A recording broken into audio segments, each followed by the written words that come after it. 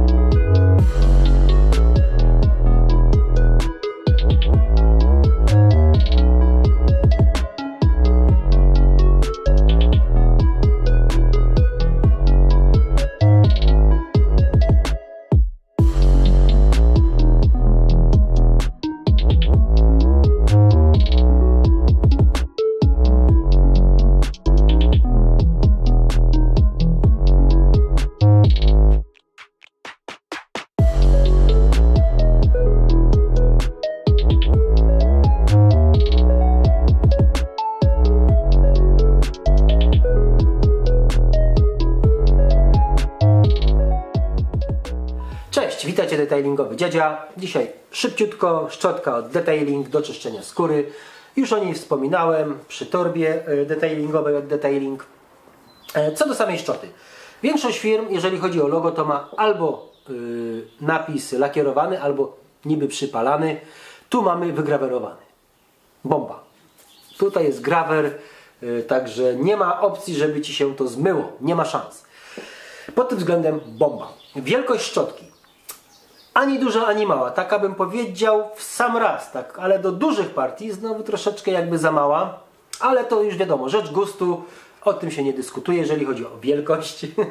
Yy, Trzyma się ją całkiem przyjemnie. Fajnie, tutaj jest to wycięcie, tak, całkiem fajnie, trzyma się ją całkiem fajnie. Yy, Kolejna rzecz, włos. I dla mnie tutaj właśnie za agresywny troszeczkę czuć sztywność włosa naprawdę bardzo sztywna i ona się sprawdzi przy takich totalnych szczurach, gdzie trzeba tam naprawdę ruszyć ten brud, to ona będzie idealna. Dla mnie, no niestety, dla mnie za agresywna i w dalszym ciągu króluje od miejscowego szamana ta no name, która już wypracowała ho ho ho i w dalszym ciągu się trzyma. Włos perfekcyjny, ani za miękki, ani za twardy. Troszeczkę jest większa od tej, zdecydowanie większa. A, może zdecydowanie nie, ale nie, widać różnicę, widać różnicę, nie jest to przepaść. Jeżeli chodzi o trzymanie, no to ta mi się lepiej trzyma, ale jakaś taka szersza, fajniej. Tutaj brakuje mi właśnie z przodu też tego wycięcia. Widzisz, o, tutaj jest taki rowek i tu jak ono by było, byłoby super, a tutaj ten palec zjeżdża, tu mam to wycięcie i zobacz, i tutaj pięknie, tak jakby się zahaczał i pracujesz. Tu mi troszeczkę tego brakuje, no ale cóż. Yy, Kolejna sprawa to jest wypłukanie piany, brudnej piany, którą wypracujemy z brudem na danym panelu i wypłukiwanie. Ja wypłukuję zawsze w wodzie, później na maksa wydmuchuję to wszystko sprężonym powietrzem, żeby ponownie oczywiście nie czyścić brudnym yy, brudem, żeby, a, brudnym brudem, ojejku, żeby nie czyścić ponownie brudną pianą. I tu mam z tym problem. Tu naprawdę, jeżeli chodzi o wypłukanie tej szczoty, kurczę, no nie jest za dobrze. No nie wypłukuje się y, fantastycznie. Lepiej wypłukuje się ta no name, a w ogóle fantastycznie to się wypłukiwała ta od ADBL-a, która jest rzadka jak... y, A co jest rzadko? Co rzadko rośnie? Jak kukurydza? Chyba tak, kukurydza rośnie tak rzadko.